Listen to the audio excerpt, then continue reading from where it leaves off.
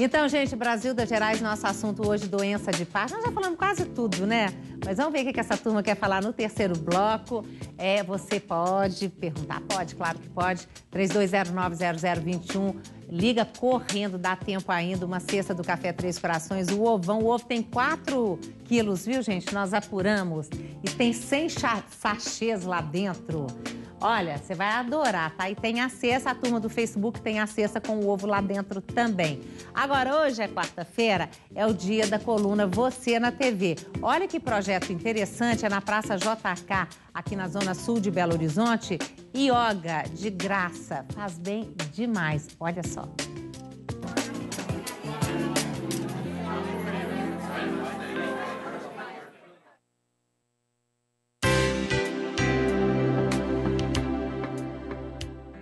O método de Rose ele existe para promover qualidade de vida para quem pratica. Ele pode ser praticado por qualquer pessoa, desde que esteja bem saudável. O método conduz ao autoconhecimento. Então, é, vamos trabalhar técnicas e conceitos. Técnicas que englobam consciência corporal, técnicas de força, de flexibilidade.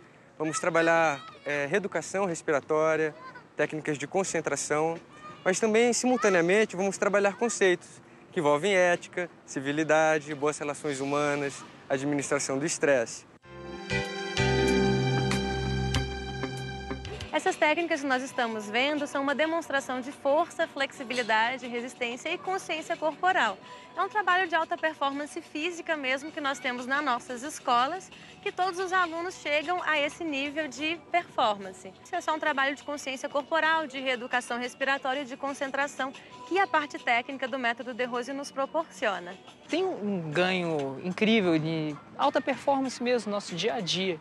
Então, na minha vida, quando eu estou estudando, eu sinto que eu consigo é, abstrair muito mais coisas das minhas aulas, eu consigo abstrair muito mais coisas em todo, todos os âmbitos é, que eu, de relacionamento.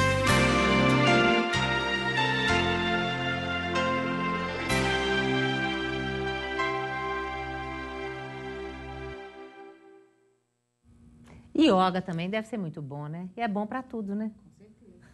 Olha só, voltamos aqui, gente, a doença de Parkinson, o Altair do Bonfim, ou a Altair, gente, porque pode ser homem, eu conheço mulher, eu conheço homem. Desculpa, eu não sei. Mas, olha, eu tenho um tremor na mão, queria saber se isso pode ser a doença de Parkinson, ou se é apenas uma tremura. Eu tenho 76 anos, tem algum remédio para amenizar isso?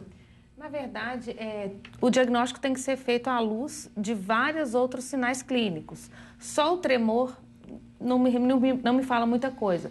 O tremor de Parkinson ele geralmente de repouso, ou seja, o paciente está numa postura sem, sem ação da gravidade. Entendi. Uhum. Se ele tem um tremor de repouso, é possível que ele tenha doença. Oh, possível, mas possível. tem que procurar um neurologista. Exatamente. Né? A Melita Nova Vista, muitas dores, sofrimentos, depressão, esquecimento, pode estar relacionado à doença de Parkinson? Na verdade, a, a, esse, esse, a sintomatologia emocional ela pode deflagrar a, do, a doença, mas uma pessoa que já tem a predisposição, né? E muitas vezes depressão pode ser um sintoma não motor que antecede a doença. Uhum. Olha só, a Beatriz da Sagrada Família, legal, Beatriz, ela falou assim: sugiro que as pessoas que se esquecem muito de tomar o remédio, esquecem a hora, que coloquem o celular para despertar, despertar, sempre nos horários. Eu faço isso e funciona. O celular. Viu? Você esquece o celular também? Ah, eu não. faço Hoje... isso ah. e esqueço. Você faz isso, toca o celular, você esquece também, Fernando? Eu estou fazendo alguma coisa, eu não paro de fazer e acabo esquecendo. Vou fazer um curso de memória. Como é que é? Vou fazer um curso de memória. Fazer curso de memória. É. Ô, gente, olha o Luiz. Você vê que ele é fantástico, uma pessoa fantástica, é empresário, tem pizzaria, como é que é Ninho? Pinga no Ninho. Pinga no Ninho, lá em Juiz de Fora. Ele é escritor também, agora o livro é impróprio para menores de 18 anos, venda sob prescrição, é, é, livro de piadas, né? Isso. Gente, como é que você arranja tempo para fazer tanta coisa, Luiz? Ah, é, tempo a gente dá um jeito, a gente faz. É. Dá um jeito, né? Agora, Rui, conta aí, você tem um blog. É, eu criei um blog, chama parkinsonevida.blogspot.com e lá eu conto algumas situações do dia a dia engraçadas que acontecem Conta uma para nós aí, só uma. Ah, tem, tem, tem várias, só que são muito longas. Tem a, a ah, não, longa não, curtinho. Quando, quando eu fui no, guarda de trânsito ficou com medo de mim, que eu comecei a tremer. Ele falou assim: não, não fica nervoso, não. Você não fica nervoso comigo, não, que eu vou tirar a multa de você. Tava tremendo demais. Ou então, quando eu fui bater a foto da minha família, eu cara, eu não tava conseguindo tirar a foto. Aí a pessoa gritou lá no trás, não pode tremer não, a câmera não funciona. Eu falei, uai, tá brincando?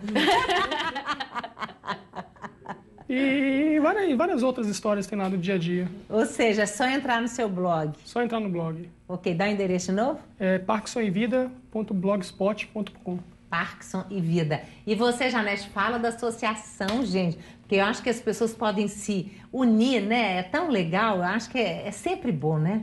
Asparmig, Associação de Parkinsonianos de Minas Gerais. É uma associação recente, tem apenas um ano de idade, mas já apresenta assim, uma série de atividades importantes. Uma delas, nós vamos realizar um evento dia 29 do 4, agora em, na Praça Floriano Peixoto, e esse evento é uma corrida internacional chamada Run for Parkinson. Nós vamos chamá-la de MG Run for Parkinson. E ela pretende, acima de tudo, buscar a cura do Parkinson. Nós vamos fazer uma sensibilização da sociedade para a doença e para a necessidade de cura que nós temos. Uhum, é. Com certeza. Nós vamos reunir um público aí de umas 500 pessoas naquela praça. Vai ser quando isso? Dia 29 do 4. Opa, depois passa aqui para é gente porque poder... esse mês ele é um mês que nós estamos celebrando aqui o mês parkinsoniano, né? O dia, Inter... dia Nacional do Parkinsoniano hoje. Pois é, por dia isso até 11... nós estamos fazendo o programa hoje. Isso, uhum. dia 11, Dia Internacional do Parkinsoniano.